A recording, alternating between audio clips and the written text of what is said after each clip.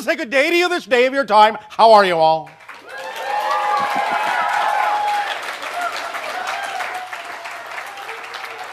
All right.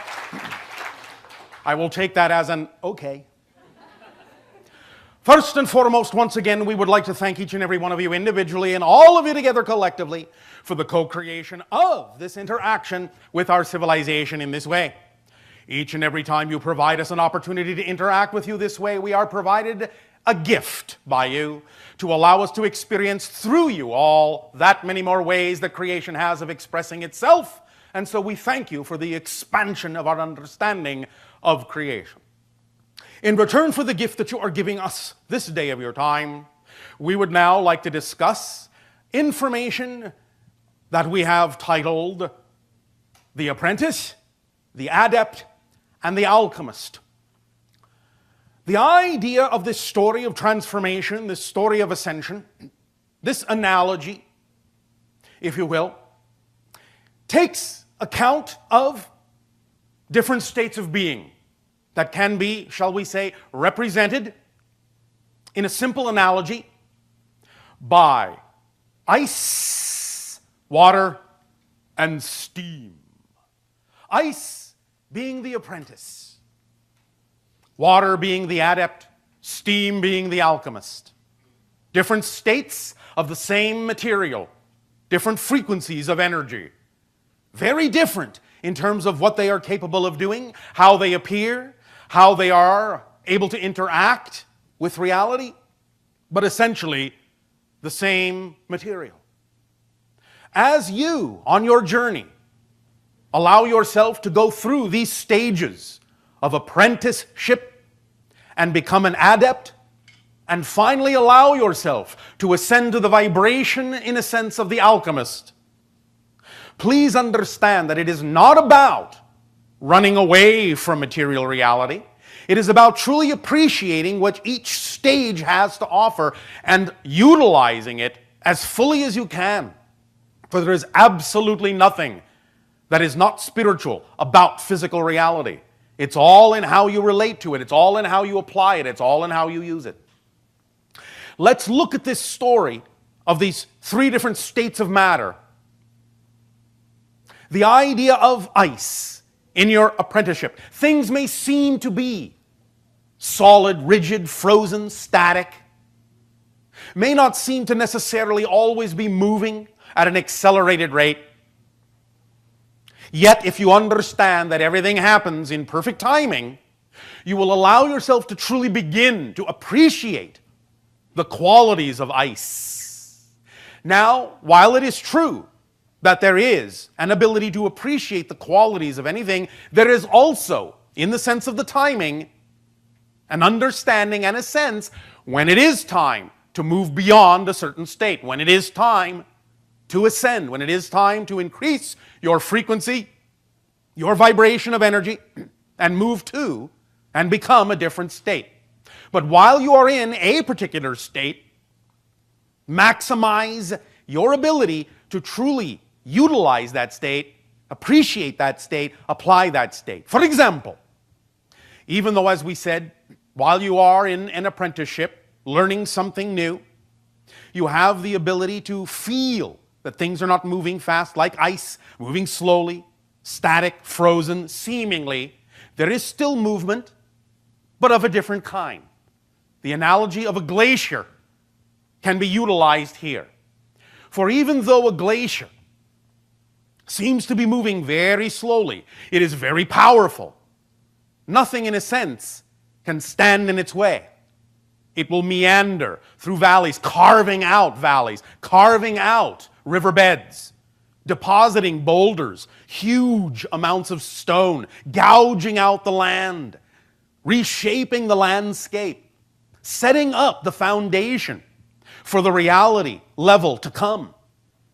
So look at ice and the power that it has, even though it may seem to be moving very slowly, the power it has to reshape the reality, to move mountains, to create new riverbeds, new flows, new pathways in life. Feel that power as you dig deep into the understanding of apprenticeship, For all you are learning in every endeavor that you do that may seem to be new has an innate power to carve out a new landscape, a new reality, a new world for you. Deeply appreciate that slow movement and its ability to reshape that landscape, for you will know it is only laying out what will be needed in the next state. For when you allow yourself to increase the passion within you and provide that heat that will slowly begin to melt that ice into water, you will then begin to appreciate that as you learn to become the adept, as you learn to flow and not be quite so static, not quite so frozen, you will then feel the trickles going down into those newly carved valleys and riverbeds, into those newly carved lakes.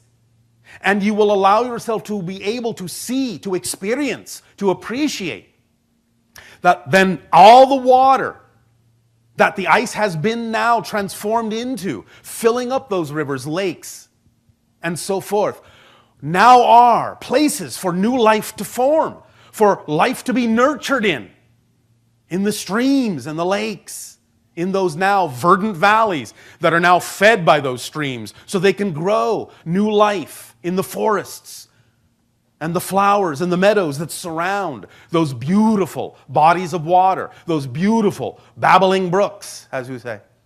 And you have become the supporter of the life that would not have a place to go had you not, as ice, as the glacier, carved out those niches for them, created the landscape where those kinds of environments could take hold where those new systems could grow and spread out from there and create richness in your life and flow in your life, flowing into the greater sea of your consciousness and providing sustenance for all forms of life that rely upon that ability to flow. And thus, then, even as you begin to truly appreciate the support that you have created with your flow into water, even when all the ice has melted and you have become the adept.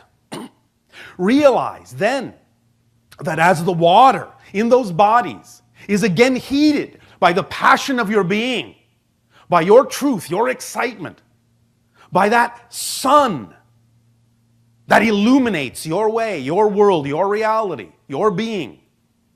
Thus, then, and causes that water to evaporate into vapor, into steam, thus creating the atmosphere around the entire world that supports all forms of life in one way, shape, or form. Thus, then, the alchemist contains within itself the ability to hold all life, to support all life, all views, all realities, all experiences within its being, within its envelope, within its bubble within its atmosphere. Thus, then, you have expanded to a new level of reality, a new level of expression, a new level of being, of a very high frequency, flitting to and fro as the winds, moving, nurturing, bringing, exchanging nutrients from one area to another, seeds from one area to another, allowing new life to travel great distances within the atmosphere of your alchemy. Thus, understand that no matter where you are in life with any particular endeavor, be it what seems to be the ice, the glacial flow in that sense of the apprentice, the greater flow of the adept, or the free flow of the alchemist and the winds there is an opportunity to truly examine, truly investigate, truly invest in, and truly appreciate each of those levels. And don't be in a hurry to go from one to the other, for each must have its timing in order to provide the proper foundation for the next. For without that glacier, there's no place for the water. And without that water, there is no atmosphere. And without that atmosphere, there is no life and no cycles. Allow yourself to truly live in each moment fully. Fully appreciating why it is there, fully appreciating that learning process. And allow yourself through the process of your ascension, through the process of your expansion of energy, through the raising of your frequency in all endeavors that you undertake that are representative of your joy, your passion, and your excitement, to exercise what we will call the nine powers of your physical reality experience. Look to these powers, utilize these powers. They are the power to perceive, the power to choose, the power to act, the power to experience, the power to reflect, the power to learn, the power to grow, the power to transcend and perhaps, in a sense, for your physical reality experience, in some ways, the most mysterious and powerful power of all the power to forget. To have a clean slate, to start anew, so that you will have the experience of discovery in the utilization of these powers that exist within you that create your physical reality experience. Once again, the power to perceive, the power to choose what it is from what you are perceiving that represents what you prefer, your passion, your excitement. The power to act on that excitement, to act on that passion, to ground that energy to the earth, to anchor it to physical reality, to create, to create the power of your experience from that action. And from that experience, to reflect upon what you have created. And from that reflection, to learn. And from that learning, to reinvent yourself, to grow. And from that growth, to transcend, to see from a new perspective a new idea for new choices, new actions, new experiences, new reflections, new learnings, new teachings. And then, in a sense, while you have allowed that experience to transform you, to allow you to transcend to the level of the alchemist in that endeavor, the power to forget, in a sense, to go through the experience the experience of experience, the experience of discovery, the experience of creation again and again and again and again and again. Going from apprenticeship to adept to alchemist again in every new undertaking. That seems fresh to you. That is a great power, the ability to make something seem like it's the first time, because everything exists already. Everything exists all at once. And the power to not know that is a great gift. A gift that allows you to experience creation as if for the very first time and allows you to always feel new in the now moment and live in the present like it's never happened before. Which, from your perspective, it has not. For even though the structure exists, always has, and always will, your perspective of it, your experience of it, your point of view of it, your unique interpretation of that structure is brand new. Every different perspective you have that uplifts you through those different stages from ice through water to steam. Every single one of those experiences adds to the greatness of all that is, adds to its experience of itself. Appreciate fully the ability to be an apprentice, to not know where you're going, to welcome the unexpected surprise, Appreciate the experience of the adept that knows that life is all about the unexpected, all about timing, all about the freedom to choose. Appreciate the alchemist that is transformation itself so that you can learn, grow, and transcend to another level that will allow you from that level to cycle into something new.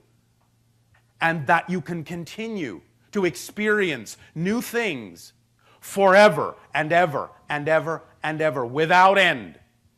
For there is no beginning to end. There is only now. There are only different points of now, different perspectives of now. It's the same now, just a different point of view of it. And the ability to relish and cherish those seemingly new experiences, those new perspectives, is a great gift. Use that power fully. The power to be new. We will thank you now for allowing us to share that idea with you. Take it to heart, take it in, breathe it in, make it your own. Exercise those powers fully and that appreciation fully in life. And in return for the gift that you are giving us in interacting with you in this way on this day, I ask now, in what way may we be of service to you? You may begin your sharing of questions if you wish.